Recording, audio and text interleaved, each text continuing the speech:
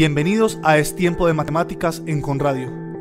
Mi nombre es Carlos Díez y los estaré acompañando durante la próxima media hora para compartir con ustedes noticias, personajes, historias, curiosidades, retos, publicaciones y algo de humor. Todo relacionado con el mundo de las matemáticas. Acompáñenme.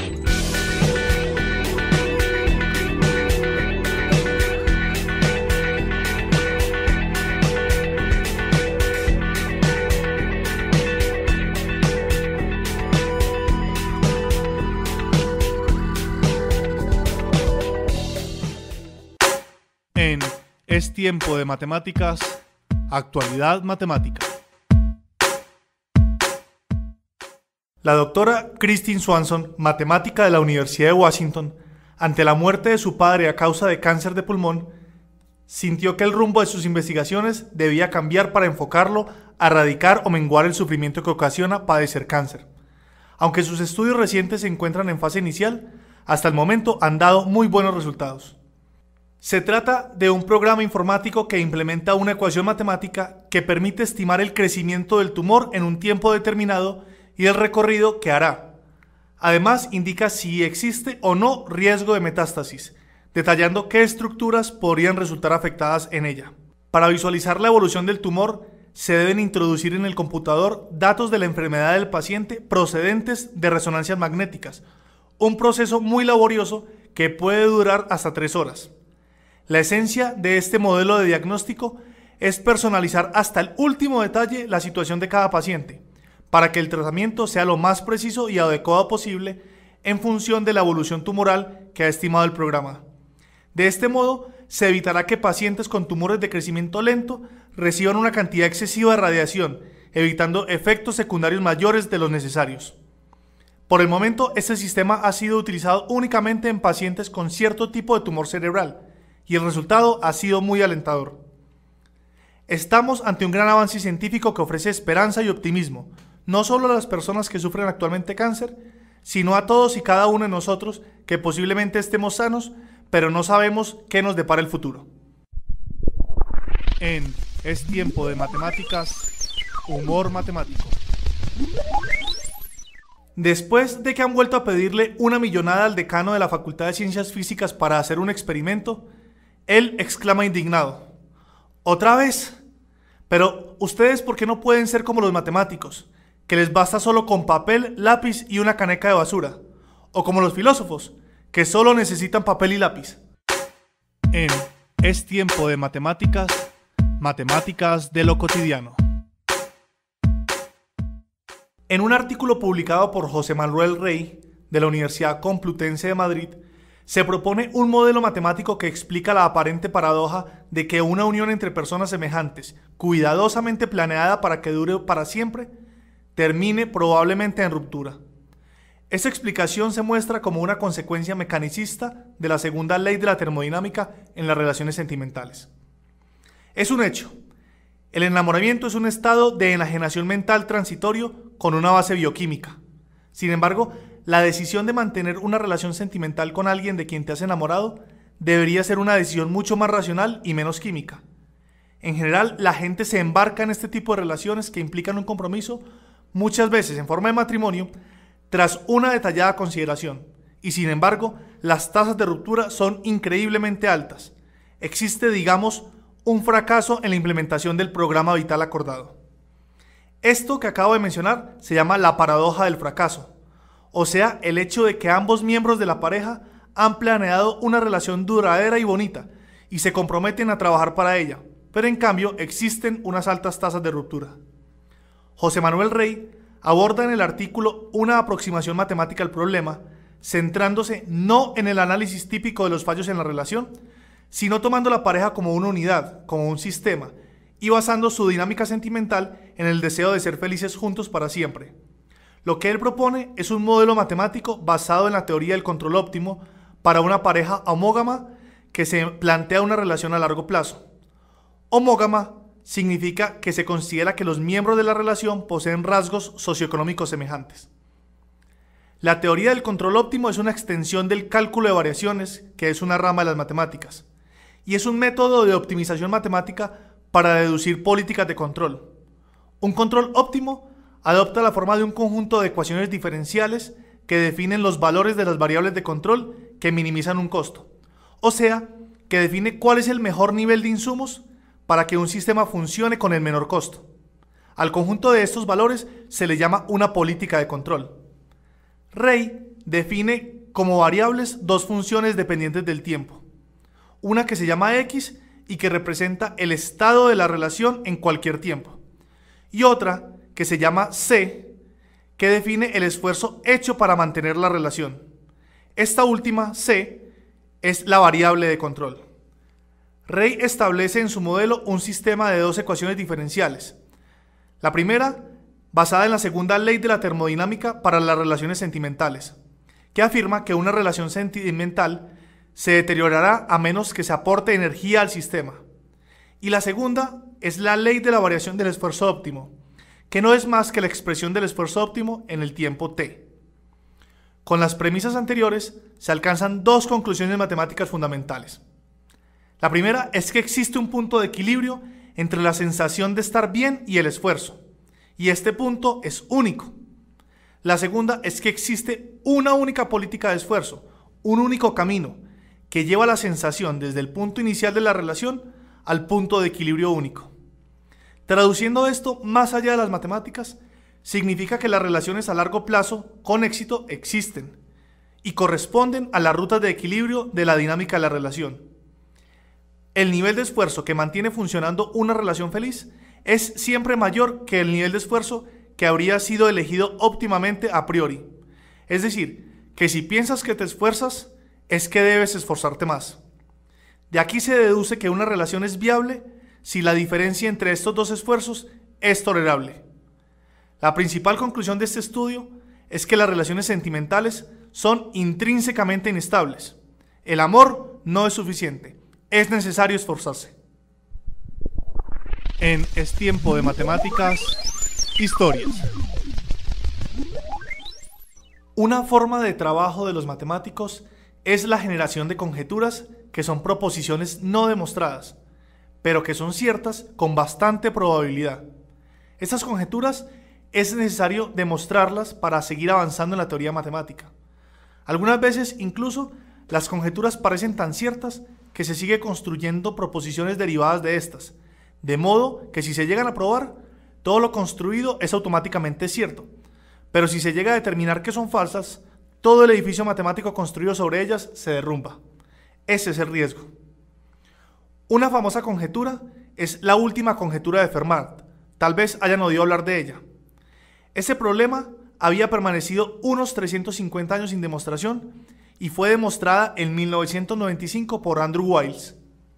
De esto hablaremos más profundamente en otro programa. Sin embargo, hoy les quiero contar que por demostrar esta conjetura, entre otros reconocimientos, Wiles obtuvo el premio Wopskel, que consistía en una cantidad de dinero que este tal Wopskel había dejado en su testamento. El caso es que alrededor de la figura de este matemático circula una interesante leyenda que vamos a contar a continuación.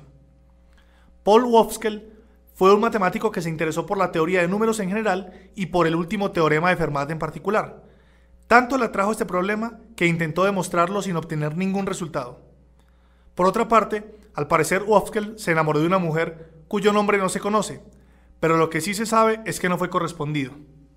Estos dos golpes, el de no poder demostrar la conjetura y el de no ser correspondido por la mujer, junto con el carácter del propio Wopskel, le llevaron a suicidarse, pero no de cualquier manera, pues se dice que era tremendamente ordenado y entonces fijó un día concreto y una hora determinada para el acto. El día que tenía pensado matarse, Wopskel estaba redactando su testamento, pero cuando terminó vio que faltaban todavía unas horas para que llegara el momento de suicidarse. Así que decidió pasar este rato echando un vistazo a un trabajo de Ernest Comer sobre el último teorema de Fermat. Y mientras hacía esto encontró lo que él creía que era un error, por lo que intentó arreglarlo. La cuestión es que se metió tanto en el tema que cuando se dio cuenta se le había pasado la hora del suicidio. La leyenda cuenta que esto hizo recapacitar a Wopskel, quien rompió el testamento y olvidó a la mujer, y que como homenaje a la conjetura de Fermat por evitar su prematura muerte, instauró un premio de 100.000 marcos a quien demostrara que el último teorema de Fermat era cierto, siempre y cuando lo hiciera antes del 13 de septiembre de 2007. Y antes de que se pregunten por qué en esta fecha, les diré que no está clara la razón por la que la eligió. Ahora, si la historia es verdadera o no, tampoco está claro. En 1997, el profesor Klaus Warner de la Universidad Kassel publicó el artículo Paul Wofskel and the Wofskel Prize, en el cual resta credibilidad a esta historia. No dice que no sea cierta. De hecho, comenta que teniendo en cuenta la personalidad de Wofskel, hasta es verosímil, pero también dice que ninguno de los miembros y amigos de la familia, consultados por él, recuerda historia alguna sobre un suicidio que no se produjo. Según Barner, la opción más verosímil es que aparte de que el intento de suicidio no existiera, la idea de instaurar el premio Wofskel surgiera en agradecimiento al último teorema de Fermat por haberle dado sentido a los últimos años de la enferma vida de Wofskel, que padeció esclerosis múltiple.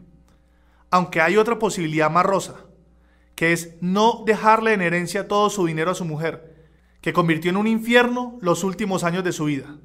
A falta de más datos, no creo que podamos más que conformarnos con la conjetura que nos parezca más cierta para la historia. En Es tiempo de matemática, mala matemática. Como suele suceder en esta sección, el problema no está en las matemáticas, sino en la forma como se usan e interpretan. Este es el caso de la fórmula Black-Scholes, de la que se dice que es culpable de generar el caos en el mundo financiero. A continuación voy a comentar un artículo que leí en la revista Semana sobre esta fórmula. Lo primero que hay que decir es que aunque la fórmula se escribió por primera vez en los primeros años de la década de 1970, su historia comienza muchos años antes en el mercado de arroz de Dojima, en el siglo XVII en Japón, donde se hacían contratos de futuros para los comerciantes del arroz. Un contrato de futuros es un contrato que establece que una persona acordará comprar arroz de otra persona en un año, a un precio que acuerdan al momento de la firma. Por la gran utilidad de este tipo de contratos, se volvieron cada vez más usuales. Pero cuando se establece un contrato de futuros, surge la pregunta de cuánto se debería estar pagando por las opciones que se están negociando. La fórmula Black-Scholes ayuda a definir ese valor del derecho de comprar a futuro a un precio determinado. Pero la conexión entre el precio de lo que se va a comprar y el valor de la opción de compra no varía de una manera sencilla. Depende de qué tan probable sea la utilización de la acción. Y eso a su vez depende del precio de la opción y el precio del artículo. Es todo un enredo.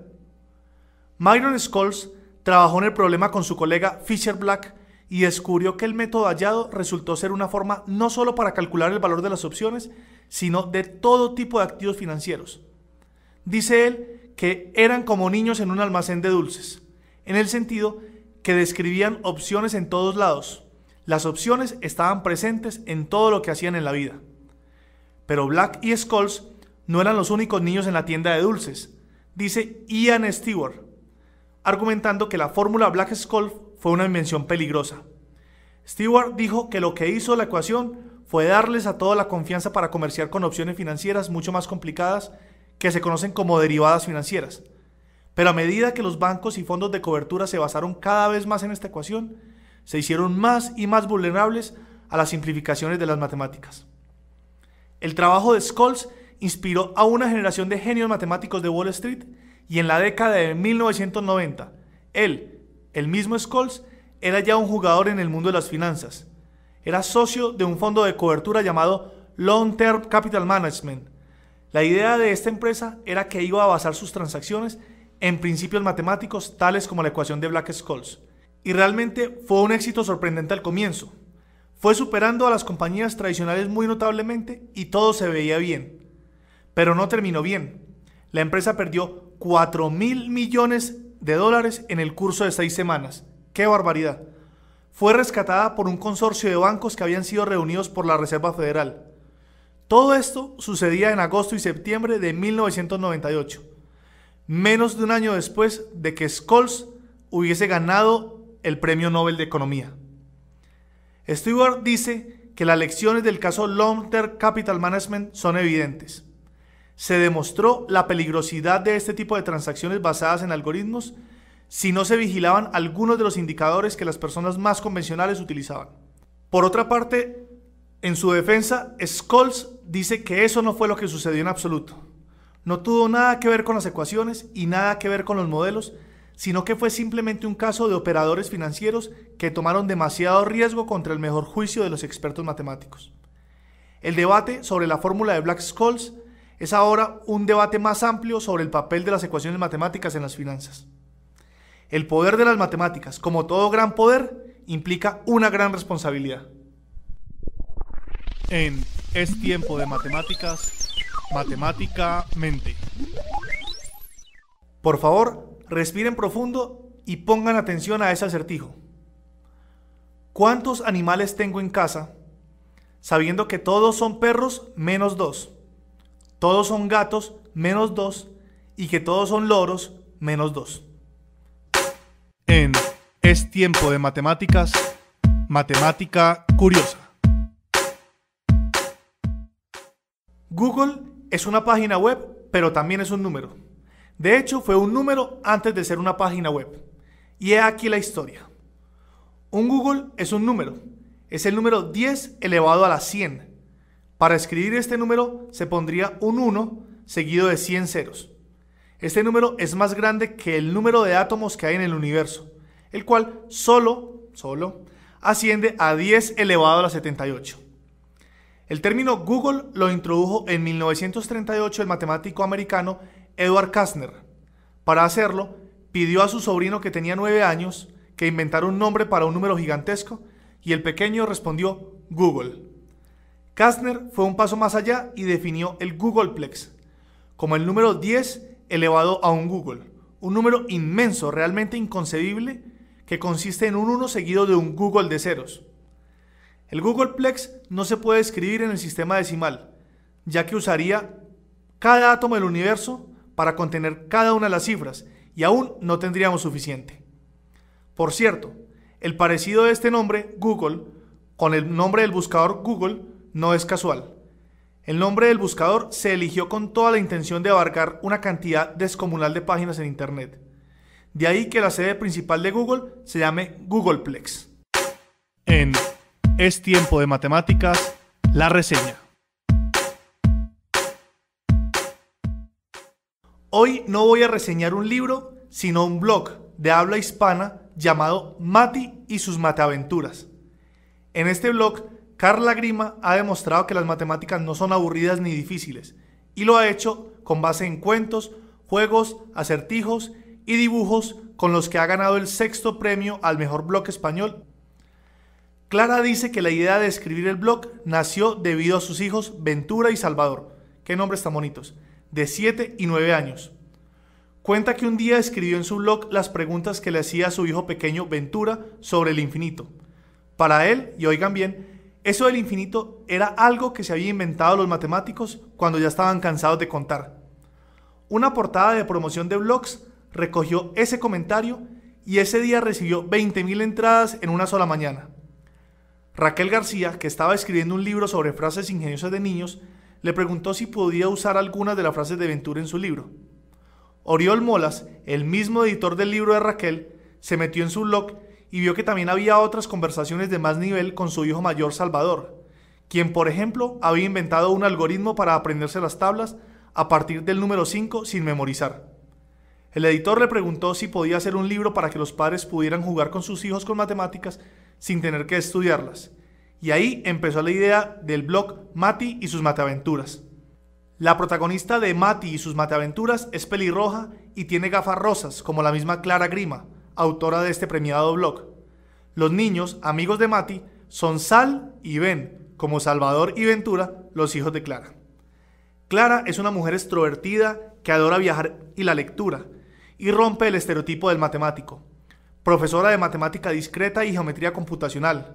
Se desvive por demostrar que las matemáticas son chéveres y por sacarle una sonrisa a niños y adultos cuando adivinan sus acertijos. Muy recomendable blog, no solo para niños, sino para adultos que quieran entender grandes cuestiones matemáticas de una manera amena y clara. Hasta aquí el programa de hoy. Mi nombre es Carlos Díez y los espero en una nueva emisión de Es Tiempo de Matemáticas, aquí en Conradio, la emisora de la Universidad Conrad Lorenz. Y terminamos como siempre citando, Ninguna investigación humana puede ser denominada ciencia si no pasa a través de las pruebas matemáticas. Leonardo da Vinci.